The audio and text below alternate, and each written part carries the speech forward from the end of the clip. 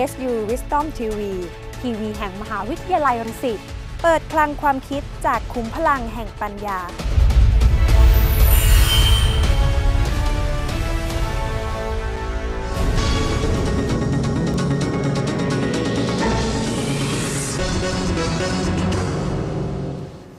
ติดตามเหตุการณ์ที่เครื่องบิน F16 นะคะ ตกนะคะ ขณะที่กำลังฝึกซ้อมคอปราโกนะคะ เกิดขึ้นเมื่อเวลา 14นาฬิกา53นาทีของวันนี้นะคะผู้ชมคะเป็นเครื่องบิน F16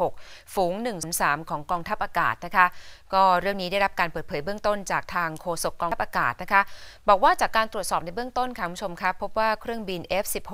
ประสบอุบัติเหตุ ขณะที่ปฏิบัติภารกิจฝึกการใช้อาวุธทางอากาศ ที่สนามฝึกการใช้อาวุธทางอากาศนะคะ ทางนี้เครื่องบินที่เกิดอุบัติเหตุนะคะก็เป็นเครื่องบินแบบ F16A สังกัดกองบินที่1นะคะมีร้อยเอกนพนนนิวาสานนเป็นนักบินค่ะ ซึ่งตอนนี้ทางเจ้าหน้าที่แล้วก็หน่วยค้นหาเนี่ยกำลังไปดูแลเรื่องนี้อยู่เนี่ยนะคะมีกองบินที่ 1 แล้วก็กองบินที่2เนี่ยเข้าพื้นที่เพื่อที่จะตรวจสอบสาเหตุเบื้องต้น แต่ว่าก็มีการคาดการณ์เบื้องต้นนะคะว่าน่าจะมาจากสภาพอากาศที่ปิดเนี่ยนะคะ ก็เลยส่งผลให้เกิดอุบัติเหตุดังกล่าว ส่วนทางด้านรองผู้บัญชาการฐานอากาศนะคะพลอากาศเอกอานนท์จารยพันธ์นะคะ ก็ระบุค่ะบอกว่าอุบัติเหตุดังกล่าวที่เกิดขึ้นนะคะ ก็เกิดขึ้นระหว่างปฏิบัติภารกิจฝึกผสม ทางทหารคอปราโก ปีนี้แหละค่ะ2015 นะคะ แต่ว่าก็ยังไม่มีการรายงานถึงสาเหตุการตก แล้วก็รวมถึงชะตากรรมของนักบินด้วยนะคะ ในตอนที่ท่านให้ข่าว แต่ว่าตอนนี้ในโซเชียลมีเดียต่างๆเนี่ยก็มีการรายงานกันเบื้องต้นว่านักบินที่ปฏิบัติภารกิจดังกล่าว แล้วก็อยู่ในเครื่องบินลำนั้นเนี่ยอาจจะเสียชีวิตแล้วเนี่ยนะคะกองทัพอากาศค่ะได้มีการนำเครื่องบิน F16 จำนวน 2 ลำนะคะจากกองบิน 1 นะคะจังหวัดนครราชสีมาเนี่ยเข้าไปร่วมฝึก ผสมทางทหาร หรือว่าคอปราโกเนี่ยนะคะจัดขึ้นทุกปีนะคะชมคะปีนี้จัดขึ้นระหว่างวันที่ 5 ถึง 20 กุมภาพันธ์ 2558 นะคะ ในพื้นที่จังหวัดลบบุรีชนบุรี จันทบุรี ระยอง และนครราชสีมานะคะ ซึ่งการฝึกก็ปิดฉากลงวันนี้แหละค่ะ เดี๋ยวเราจะมาสอบถามรายละเอียดนะคะ กับทางโฆษกกองทัพอากาศนะคะพลอากาศเอกมนทนสัจจุกรนะคะ สวัสดีค่ะท่านโฆษกคะสวัสดีครับ ค่ะเอ่อตอนนี้ยืนยันไหมคะว่าตกลงนักบินที่อยู่บนเครื่องบินลำกล่าวนี้เสียชีวิตค่ะท่านโฆษก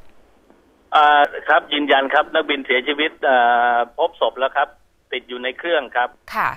สำหรับนักบินนี่คือมีหนึ่งคนคือ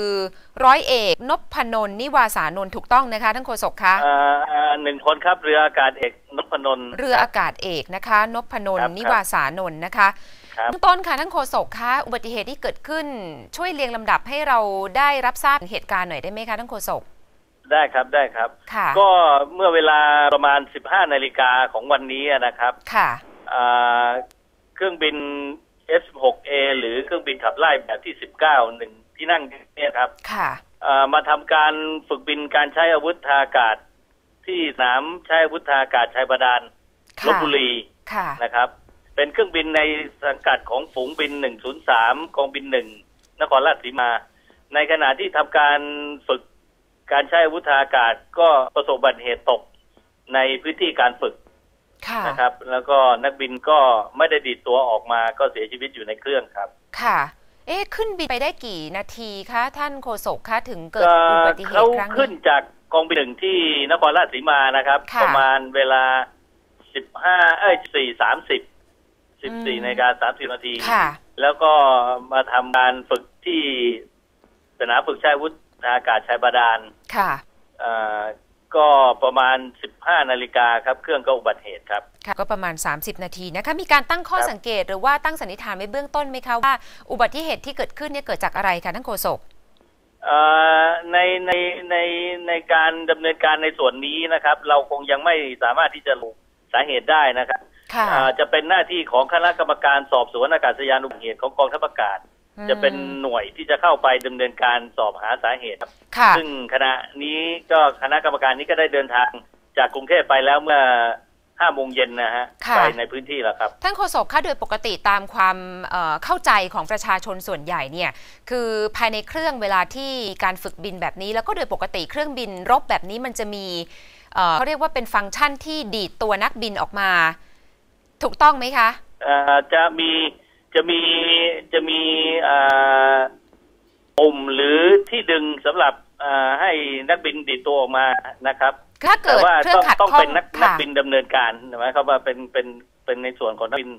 เป็นผู้ผู้ทำนะครับ ค่ะ แต่ว่าครั้งนี้เนี่ยคือเอ่อ ทางเรืออากาศนพนนท์เนี่ยนะคะไม่ได้ดีดตัวครับออกมาก็ติดอยู่ในเครื่องเนี่ยท่านท่านมีข้อสงสัยอะไรเป็นส่วนตัวบ้างไหมคะเพราะว่าเราก็สงสัยว่าเอ๊ะทำไมถึงไม่สามารถดีดตัวออกมาได้เคงคงคงไม่มีอะครับ เพราะว่าเอ่อสิ่งเหล่านี้เนี่ยมันมันมีได้หลายปัจจัย ซึ่งคงยังไม่ไม่สามารถที่จะชี้ไปทางใดทางหนึ่งได้นะฮะนอกจากค่ะรอทางคณะกรรมการที่เป็นผู้เชี่ยวชาญเขาจะต้องไปเอ่อตรวจสอบในพื้นที่ตรวจสอบอะไรใน ต่างๆอีกทีหนึ่งนะฮะแล้วก็คงจะอมองเห็นว่าที่เกิดจากอะไรครับ ค่ะ ส่วนเครื่องบิน F16 ที่ใช้ในการฝึกครั้งนี้ก็มี2ลำถูกต้องไหมคะท่าน ไปสองเครื่องครับ ไป2เครื่องนะคะ และอีกเครื่องหนึ่งนี่ก็คือปกติดีนะคะท่านโฆษกคคะรับก็ปกติก็บินกลับที่ตั้งครับอ่าค่ะเอาละค่ะ ขอสอบถามท่านโฆษกเพียงเท่านี้นะคะ ขอบพระคุณมากนะคะครับครับสวัสดีรับค่ะเอ่อพลอากาศเอกมนทนสัจจุกรนะคะโฆษกกองทัพอากาศนะคะ ท่านก็บอกว่า ตอนนี้ยืนยันแล้วนะคะว่าพบศพนักบินทั้งหมด 1 คนด้วยกัน แล้วก็ติดอยู่ที่เอ่อเครื่องบิน F16 นะคะการดำเนินการสอบสวนเนี่ยก็จะมีรายละเอียดเนี่ยมาได้รายงานกันต่อไป แต่ว่าตอนนี้ก็ยังังไม่สามารถที่จะสรุปอะไรได้แต่ว่าการฝึกบินในครั้งนี้มีเครื่องบินชนิดเดียวกันนะคะ F16 เนี่ยนะคะทั้งหมด 2 ลำแต่ว่ามีการขัดข้องเนี่ยเพียงลำเดียวแล้วก็เกิดอุบัติเหตุเพียงแค่ลำเดียวเท่านั้นนะคะ อีกเครื่องหนึ่งก็สามารถที่จะบินกลับฐานทัพได้ตามปกติค่ะอะ เดี๋ยวลองติดตามรายละเอียดกันนะคะว่าเรื่องนี้จะเป็นอย่างไร มาดูความคืบหน้าเกี่ยวกับภัยใน 3 จังหวัดชายแดนภาคใต้กันบ้างนะคะคุณผู้ชมคะวันนี้ก็มีเหตุระเบิดเกิดขึ้นที่ตัวเมืองนราธิวาสนะคะ บริเวณร้านคาราโอเกะนะคะ ล่าสุดมีผู้ได้รับบาดเจ็บทั้งหมด 13 คนด้วยกัน มีอาการสาหัส 1 คนนะคะ เจ้าหน้าที่ก็สันนิษฐานว่าเหตุการณ์ครั้งนี้เกิดจากคาร์บอมค่ะ มื่อเวลาประมาณ 13นาฬิกานะคะเกิดเหตุรอบวางระเบิด บริเวณร้านคาราโอเกะบนถนนณนครตำบลบางนาคอำเภอเมืองจังหวัดนราธิวาสนะคะกล้องวงจรปิดค่ะสามารถบันทึกภาพขณะเกิดเหตุไว้ได้นะคะ แล้วก็ล่าสุดมีผู้บาดเจ็บทั้งหมด 13 คนอาการสาหัส 1 คน เจ้าหน้าที่สันนิษฐานว่าน่าจะเป็นคาร์บอมนะคะ แล้วก็ไม่ได้อนุญาตให้บุคคลที่ไม่เกี่ยวข้องเนี่ยเข้าไปในที่เกิดเหตุเนื่องจากไม่มั่นใจความปลอดภัยด้วย ว่าจะมีมาซ้ำลูกที่ 2 หรือเปล่าเนี่ยนะคะ มีการรายงานว่าเกิดเหตุระเบิดลูกที่ 2 ด้วยนะคะ บริเวณแยกศาลเจ้าแม่กวนอิม ก็ห่างจุดแรกประมาณ 300 เมตรด้วยกันค่ะ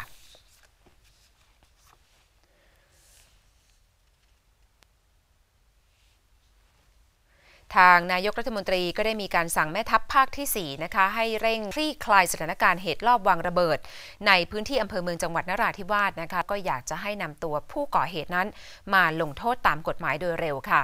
ทางโฆษกกองอำนวยการรักษาความมั่นคงภายในราชอาณาจักรนะคะพันเอกบรรพศภูเพียรก็บอกว่าตามที่กลุ่มผู้ก่อเหตุรุนแรง ได้มีการก่อเหตุว่ารอบวางระเบิดในพื้นที่ ก็ทำให้ประชาชนได้รับบาดเจ็บหลายรายนั้นนะคะ ข้อมูลในชั้นต้นค่ะ บอกว่ามีระเบิดเกิดขึ้น 1 จุด แต่ว่าอย่างที่บอกคุณผู้ชมไปว่าอีกสักประมาณไม่นานเนี่ยนะคะ ก็เกิดอีก 1 จุดด้วยกัน แล้วก็ห่างจากที่เดิมเนี่ยประมาณ 300 เมตรทางโฆษกกอรมนก็บอกว่าสิ่งที่เกิดขึ้นแสดงให้เห็นว่ากลุ่มผู้ก่อเหตุนิยมใช้ความรุนแรง ก็ยังมีความพยายามนะคะในการสร้างสถานการณ์เพื่อที่จะลดทอนภาพลักษณ์ทางเศรษฐกิจ อันนี้ก็บอกว่าประชาชนทุกฝ่ายเนี่ยตอนนี้ก็เบื่อหน่ายกับเหตุรุนแรงเกิดขึ้นแล้วเนี่ยนะคะ ภาครัฐก็พยายามที่จะแก้ไขปัญหาในทุกมิติ ทางนายกรัฐมนตรีนะคะได้มีการสั่งการให้แม่ทัพภาคที่ 4 ในฐานะที่เป็นผู้อำนวยการรักษาความมั่นคงภายในภาค 4 ส่วนหน้าเนี่ยนะคะเร่งคลี่คลายสถานการณ์แล้วก็สืบสวนตัวผู้ที่กระทำผิด มาดำเนินคดีตามกฎหมายด้วย ก็จะต้องไปสืบจากวัตถุพยานในที่เกิดเหตุแล้วค่ะ นอกจากนี้ยังได้ขอให้ช่วยกันประนามการกระทำของผู้ก่อเหตุรุนแรงในพื้นที่ที่มุ่งสร้างความเดือดร้อนให้กับพี่น้องประชาชน ขณะที่ประเทศชาตินั้นถือว่ากำลังเดินหน้าไปได้ด้วยดีนะคะ แล้วก็ส่งผลต่อภาพรวมทางเศรษฐกิจของคนในพื้นที่ ให้มีความเชื่อมั่นน้อยลงไปด้วย แล้วก็อยากจะให้ประชาชนในพื้นที่ช่วยกันสอดส่องดูแล หากเห็นอะไรผิดปกติเกิดขึ้นเนี่ยนะคะ ก็อยากจะให้แจ้งเจ้าหน้าที่ทันทีด้วยค่ะ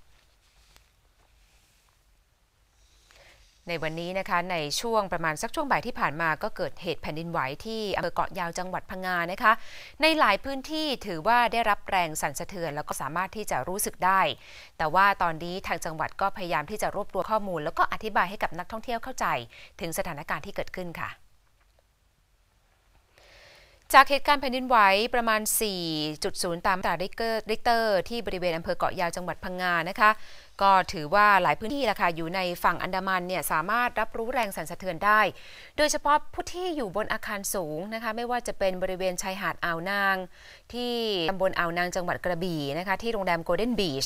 สามารถที่จะรับรู้แรงสั่นสะเทือนได้ในช่วงเวลาที่เกิดเหตุก็สั่นประมาณสัก 2-3 วินาทีด้วยกันสั้น ๆนะคะ แต่ว่าประชาชนแล้วก็นักท่องเที่ยวเนี่ยถือว่าก็ยังควบคุมสติได้ดี ไม่มีอาการตื่นตระหนกแต่อย่างใด นอกจากนี้นะคะที่บริเวณวัดห้วยโต้ตำบลทับปริกอำเภอเมือง ที่นี่ก็สามารถรับรู้แรงสั่นสะเทือนได้ด้วยเช่นเดียวกันนะคะ ส่วนที่เกาะพีพีอันนี้ไม่มีรายงานการรับรู้แรงสั่นสะเทือน ทางด้านนายกสมาคมธุรกิจการท่องเที่ยวจังหวัดกระบี่นายชำนาญศรีสวัสดิ์นะคะบอกว่าจากเหตุการณ์ที่เกิดขึ้น ก็ยังถือว่าอยู่ในภาวะปกตินะคะ แต่ว่าทางสมาคมก็ติดตามเฝ้า